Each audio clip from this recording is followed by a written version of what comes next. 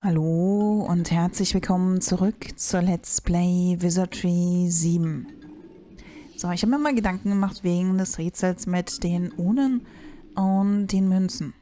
Ich habe mir einfach mal die äh, Informationen, die wir von den Münzen hatten und die Farben oder beziehungsweise Materialien der Uhren aufgeschrieben und habe mir da so ein bisschen was zurechtgelegt. Also ich habe jetzt nicht da bärtiges Gesicht, geheimnisvolle Urne und so zuerst mal in Betracht gezogen, sondern ich habe einfach die Metalle versucht, den Steinen zuzuordnen. Und dabei der ähm, Chromurne stand, dass sie chromgrün ist. Dann habe ich gesagt, okay, Smart ist auch grün. Ähm, dann hatte ich ähm, Bernstein, da stand ja sogar noch Sonne dahinter und Gold würde ganz gut passen. Und Kupfer ist ja immer so ein bisschen rötlich, dann den Rubin dazu und Diamant und Silber, weil sie beide ja so farblos sind, habe ich die mal miteinander kombiniert. Und jetzt möchte ich mal bei der Statue diesen Mondstein verwenden, den wir an der anderen Statue in der neuen Stadt gefunden hatten. Vielleicht bringt das ja was. Wenn nicht, ähm, müssen wir uns noch in der Stadt umsehen. Dann bin ich ratlos. Aber wir versuchen das jetzt mal. Und zwar, du hast den Stein. Bitte Spiel, bitte, bitte, bitte so ein Erfolgserlebnis. Das wäre cool. Ihr haltet den milchigen Stein hoch. Der Stein beginnt zu schimmern. Die Augen der Statue leuchten auf. Ja, ich glaub's funzt. Ein blendend weißer Lichtblitz schließt euch ein. Ist das gut? Ihr findet euch in einem großen, verrußten Raum wieder. Ein permanenter, kühler Lufthauch scheint diesen Bereich mit frischer Luft zu versorgen, doch ihr könnt nicht feststellen, woher diese erfrischende Brise kommt. Ich nenne es mal Progress. Nichts hier deutet auf die Anwesenheit im Hinterhalt lauernder Bewohner hin. Trotzdem ist diese Möglichkeit nicht auszuschließen. Warum Hinterhalt?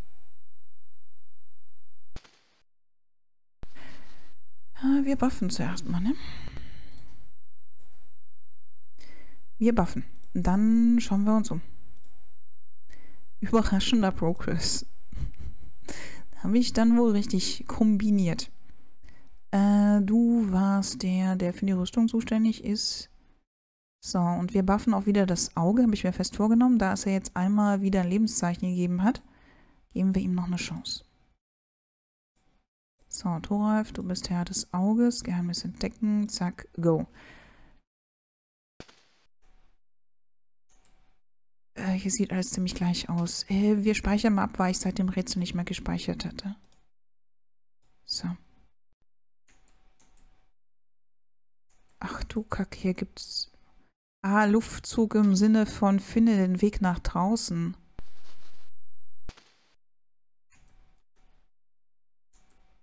Ah, wir laufen mal an den Türen vorbei, ob die Helden oder das Auge irgendwas sagen, dass es zieht.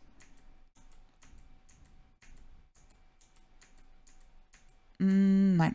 Okay, dann gehen wir einfach irgendwo lang.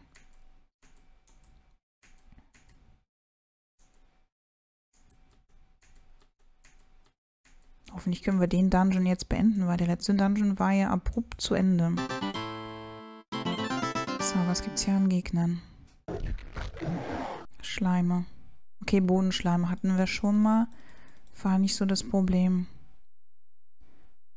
Ähm, mach du mal Pause. Hafer hat da alles nicht so funktioniert. Hm, du schlägst mit drauf und du zauberst uns mal mm, ja, mittleres Eisbällchen. Dann schauen wir mal, wie wir klarkommen. Aber ah, wir haben wieder einen Dungeon gefunden, in dem wir scheinbar überleben können. Nur der Heimweg ist noch unklar.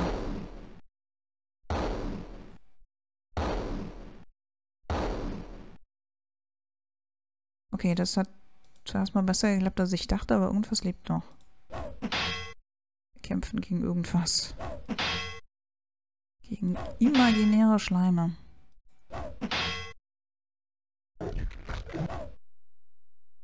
Imaginäre Schleim haut zurück. Jetzt ist er tot.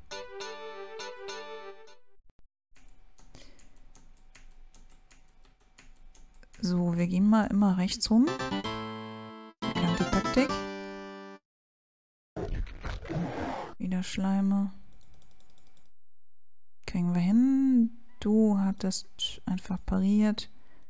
Du hattest draufgeschlagen und du hattest einen Eisball gemacht. Mach mal nur einen Dreier, vielleicht reicht das auch.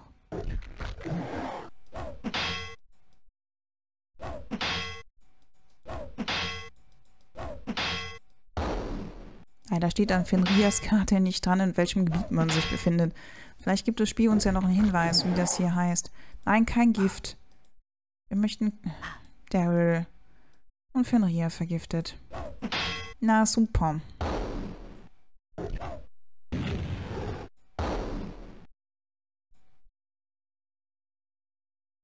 Hm, ich hätte wohl doch einen Vierer-Eisball nehmen sollen.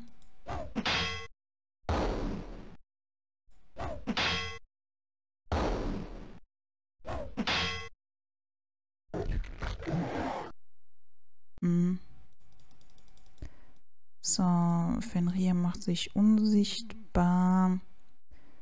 Und du machst bitte das Gift von Daryl zuerst mal weg. Zwar ein großer Drache, aber ein bisschen Mimöschen, wenn es um Gifte geht.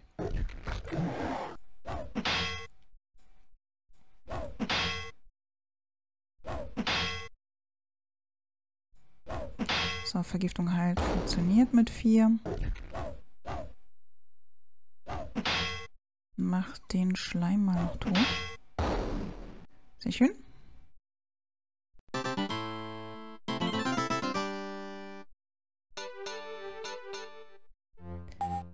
Uh, endlich mal wieder jemand aufgestiegen.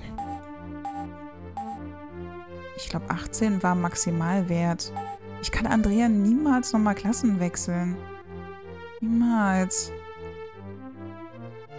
So, dann machen wir mal mit Axt noch ein bisschen weiter. Äh, physisch gehen wir Vortragskunst. Du zauberst relativ viel. Persönlich Wille und hier gehen wir auf jeden Fall in Diplomatie. Hätten wir jetzt immerhin eine 32. So, ein Non-Zauber gelernt.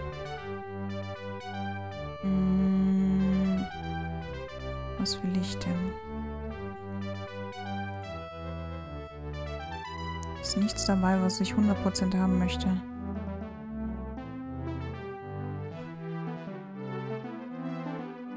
Ah, bezaubern machen wir mal noch. So. Hätten wir das geklärt. Dann gehen wir rechts rum weiter und sind dann mit dem Gang scheinbar fertig. Dann gehen wir wieder rechts rum. Ah, oh, das Gift von Fenrir. Kacke. Sorry, meine Liebe, das habe ich ein bisschen verschwitzt. Ah, gleich. Andrian hat sich vorgedrängelt. Mach dich mal unsichtbar. Du zauberst bitte direkt mal ein Gift teilen 4 auf Fenrir. Mm, du parierst. Die kriegen das schon mit der Drachenechse hin.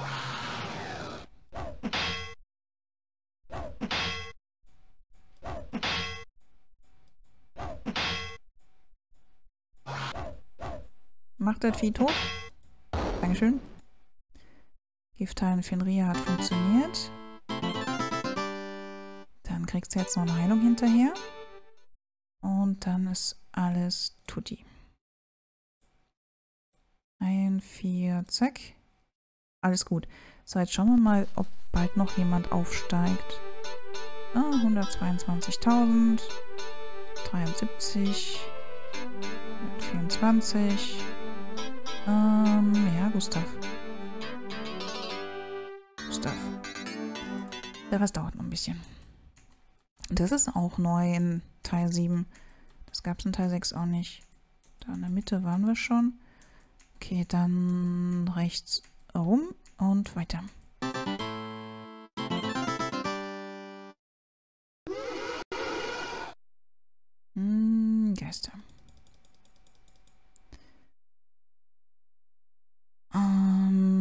Ich mir Sorge. So ein bisschen. Mal Magiegeschoss. Ah, Gustav haut drauf. Ich glaube, gegen Eis waren die nicht so empfindlich. Mach doch auch mal Magiegeschoss.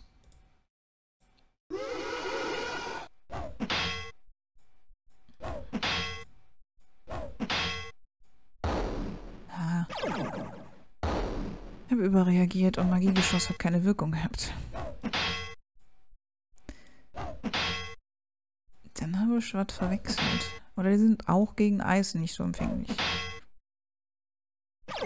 Magiegeschoss. Auch keine Wirkung, okay. Weißt du.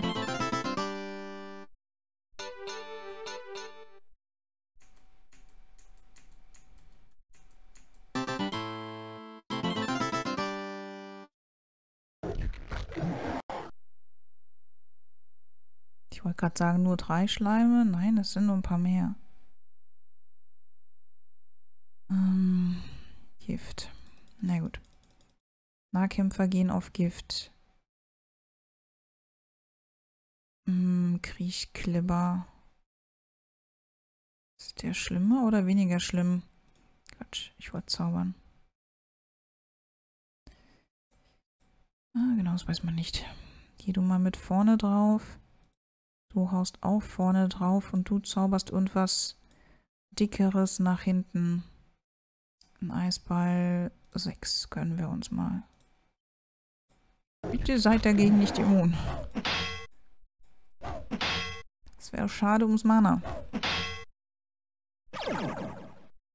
Magiegeschoss vorne hat schon mal geziebt. Einer ist tot. Noch einer ist tot. Reihe. Ja, geht. Ja. Hm? War gut. Ja, hinten wird auch gestorben.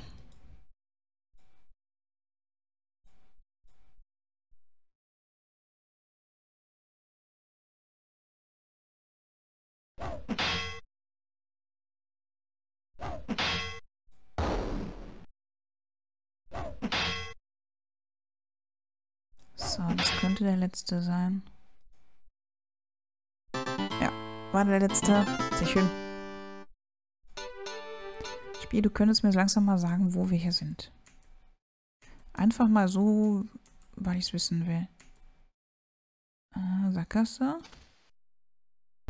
Auge sagt nichts. Wir suchen trotzdem. Und schauen rechts und links nach Knöpfen. Da waren keine Knöpfe. Wir schauen mal auf die Karte. Ja. Wie auch immer. Wie auch immer. Eine Tür. Die wir erfahrungsgemäß nicht knacken können. Und wir haben hier noch keinen Schlüssel gefunden.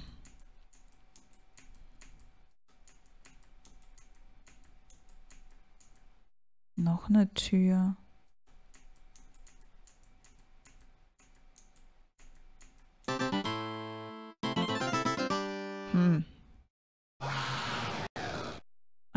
Einsames Äxlein. Da machen wir uns keine Sorgen. Da machen wir ein bisschen Musik. Du haust drauf und du machst dich unsichtbar. Und komm. So, sie schläft. Und dann bringen wir sie bitte im Schlaf um die Ecke. Sehr schön.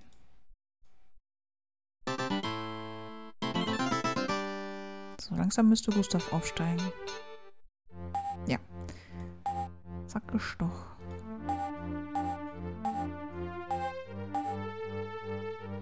So. Ähm.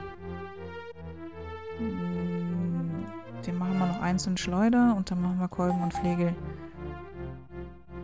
So, hier wollten wir... Spähen? Nee. Vortragskunst geht halt von selbst hoch. Spähen scheinbar nicht, weil er hat schon immer sieben. Hm.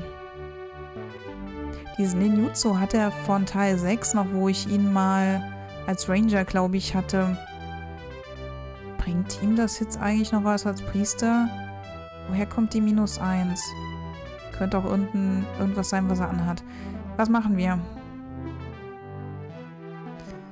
Was machen wir? Was machen, was machen wir? Wir machen Spähen. Trotz allem. Ich vertraue dem Auge nicht. Oh, er hat sogar mal zwei persönliche Punkte. So, hier wollten wir auch in Diplomatie gehen. Als Backup zu Andrean. Ja, ich glaube, das ist gut. Wenn es wirklich hart auf hart kommt, je nachdem, wer dann mehr Punkte gekriegt hat über die Level, wären wir dann besser dran. So, mit dir will ich, glaube ich, Luft reinigen wäre so eine Option. Lähmung heilen wollte ich mit dir, weil das bisher nur Andrean kann. Gut, haben wir das gemacht? Sehr schön. Dann rechts herum weiter. Wieder ein Gatter.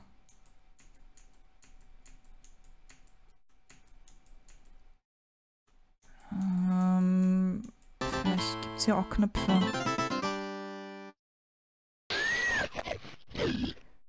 Ein paar Käferlein. Dann gehen wir bitte zuerst mal auf die giftigen.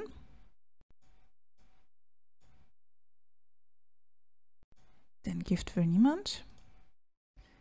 Fenrir kann die vorderen beiden einschläfern. Du hilfst auch beim Gift und du machst dich vom Acker und go.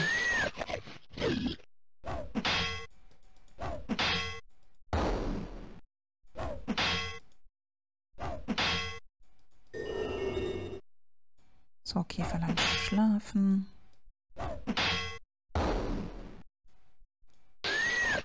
So, der Giftkram ist tot.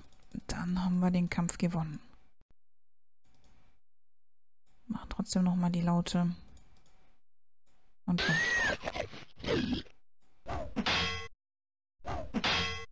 Hoffentlich lässt das Spiel uns hier wieder raus, bevor die Gegner vielleicht zu schwer für uns werden. Das wäre ungünstig.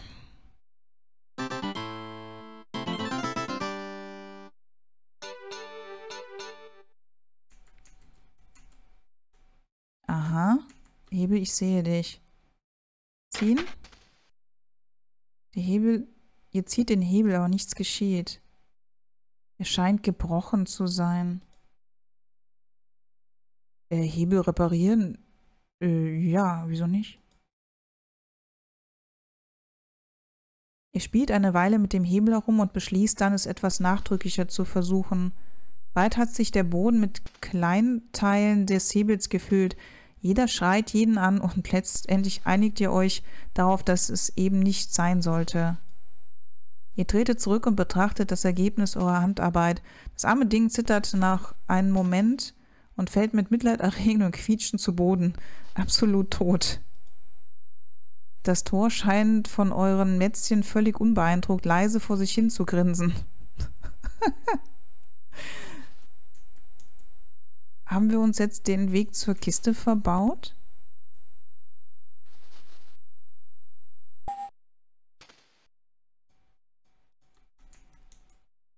Ich glaube ja.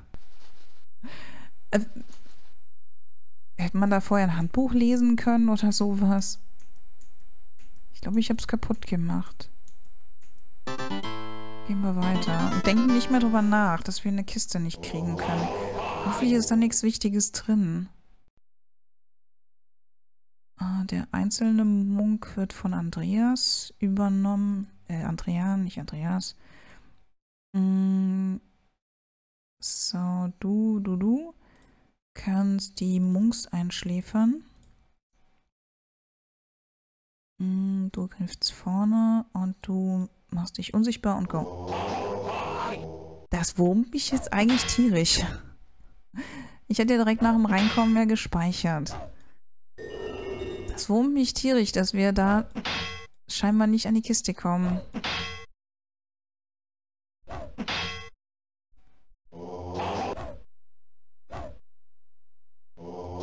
Von was hängt... War das dann irgendwie sowas wie Glück, ob wir das hinbekommen oder nicht? Oder zählt das auf die Geschicklichkeit der Charaktere? Andrea hätte das auf jeden Fall hinbekommen sollen. Er hat ja alles fast Maximum.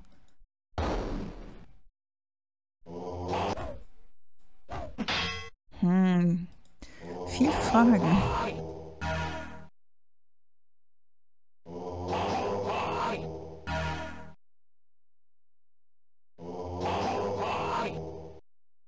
So, habt ihr euch sortiert? Sehr schön. Oh, ein Monk Ninja. Andrean, gib dir mal bitte den Rest. Der Rest geht bitte jetzt auf die vorderen.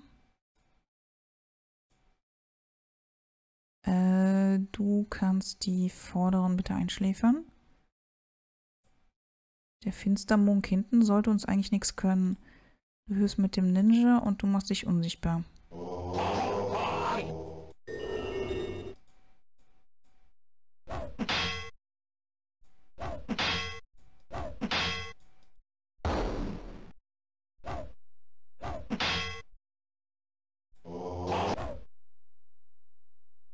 unsere Zauberklinge ist ja ausgelaufen. Wir müssen eh gleich ein Nickerchen machen wegen Fenrir und anderen.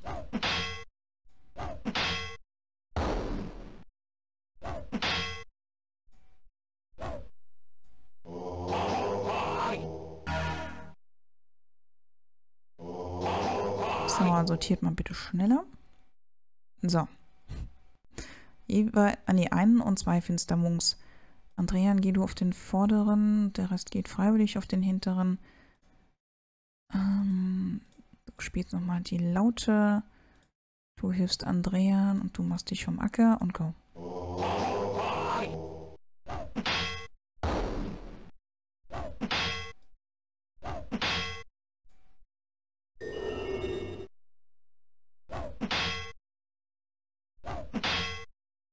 So, haut so um. Nicht blenden. Das will keiner. Die hinteren sind geblendet. Nicht so schlimm.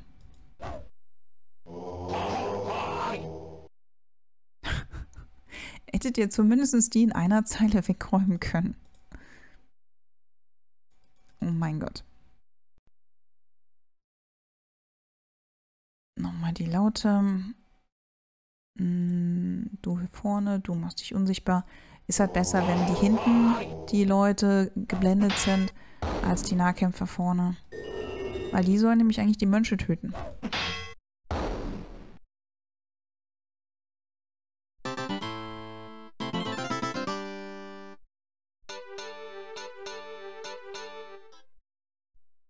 So, Nickerchen.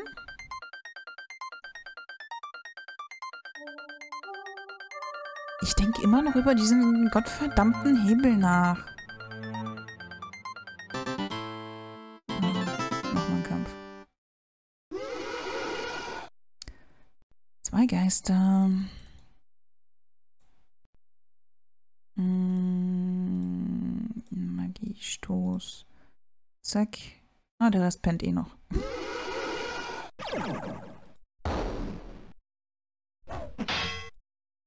Magie... Hä? Magiestoß wirkt bei denen nicht. Okay. Hm, Gerrit verwirrt. Andrian hat Angst. Fenrir auch. Thoralf auch. Das fängt nicht gut an.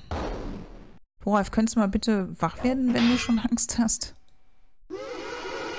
Das würde gerade helfen. Dann halt nicht.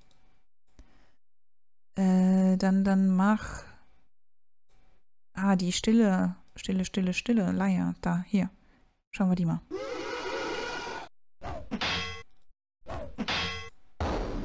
Okay, zur stillen Leier kam es nicht mehr. Gustav und Thoralf müssen auf die stille Treppe, weil sie alles verpennt haben. Gustav wird wach. Nein. Nein, bitte nicht. So, nochmal schlafen.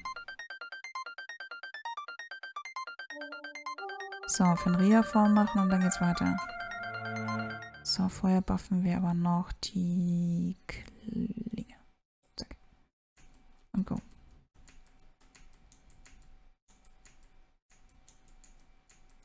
Gefühlt nimmt das hier alles kein Ende. Und, Moment, da war was. Was ist das?